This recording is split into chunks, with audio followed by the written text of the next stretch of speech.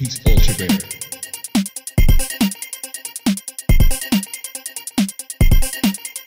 He's ultra rare.